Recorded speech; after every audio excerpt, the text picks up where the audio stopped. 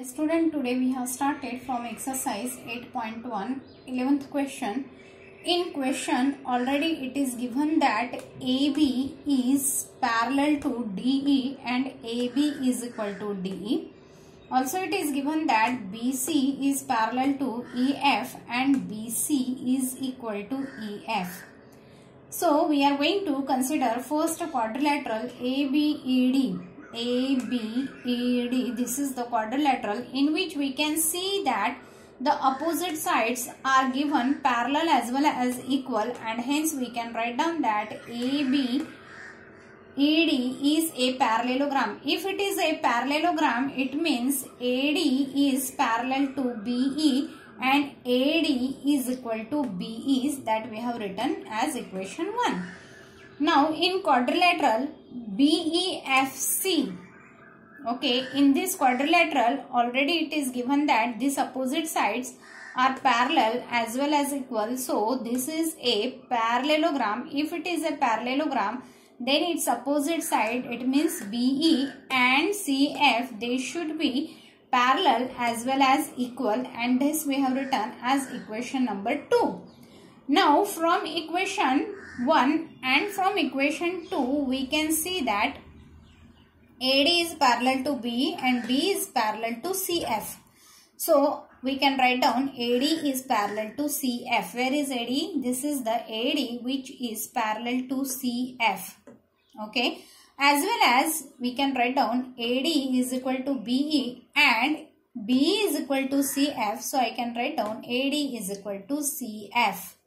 Okay, so we have shown AD is equal to CF as well as AD is parallel to CF.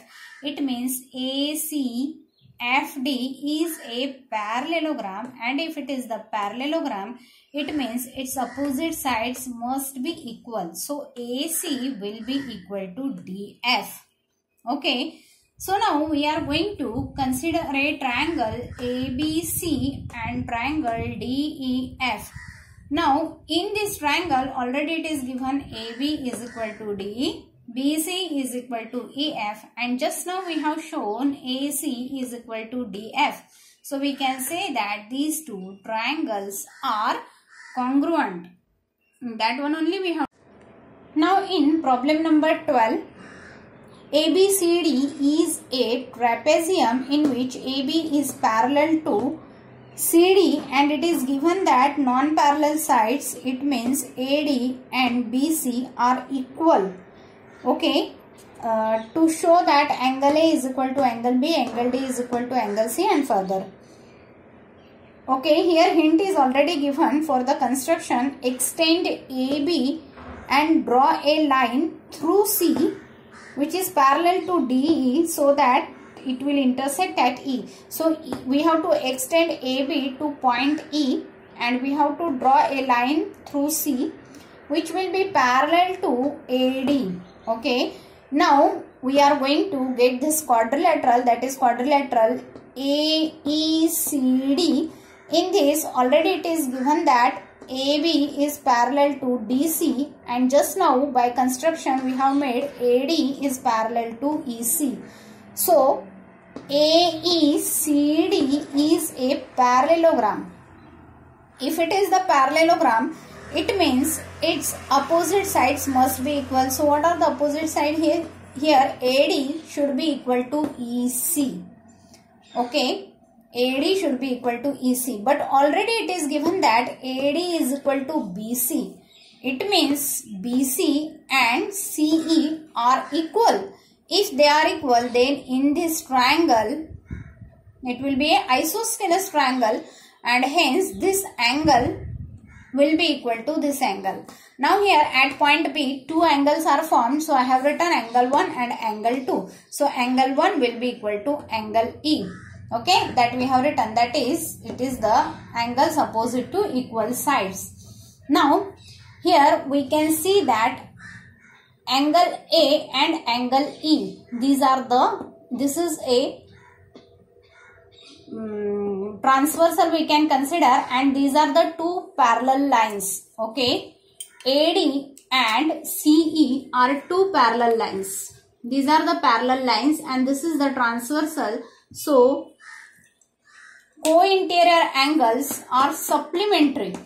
Okay. Or I can say already I have shown it is a parallelogram and hence the adjacent angles of the parallelogram sums 180 degrees. So I have written it. But what is angle E? That is we have already shown is equal to angle 1. Okay. So this I got equation number 2 that is angle A plus angle 1 is equal to 180 degree. Now from this you can see here it is forming a linear pair.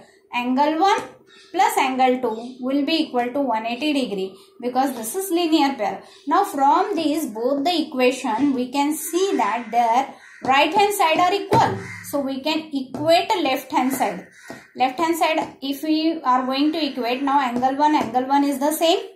So what I can say angle 1 angle A that will be equal to angle B. But what is angle B? Angle B is nothing but a angle of a trapezium that is angle B.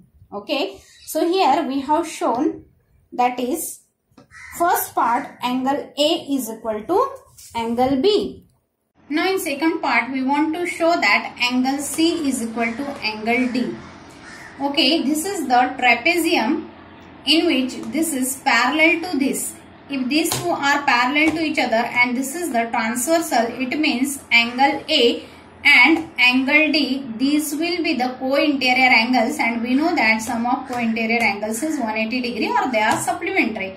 So I can write down angle A plus angle D is equal to 180 degree and angle B plus angle C will be equal to 180 degree. Both are forming the co-interior angles and co-interior angles are supplementary. Now, but already from these two equation, as their right hand sides are equal, I can equate the left hand side. But in left, left hand side, angle A is equal to angle B. That is already there. It means that angle D will be equal to angle C. And that is only we have to show in second part. Now in third, it is asked to prove the triangles are congruent. So triangle ABC which are marked with that uh, orange pen ABC and triangle BAD. Okay, in these two triangles we can see that AB is a common side. Just now we have proved, proved uh, that angle B will be equal to angle A and it is given that AD is equal to BC or BC is equal to AD. So by SAS we can show that these two triangles are congruent. If the triangles are congruent then their corresponding parts it means AC okay that will be equal to DB and this is these are nothing but the diagonals of a parallel uh, sorry trapezium. It is already given this is a trapezium with the non-parallel sides are equal means this is the isosceles trapezium. So in isosceles trapezium, this angle will be equal to this angle, this side, this angle will be equal to this angle and their diagonals are equal. So here you are getting the property of the isosceles trapezium.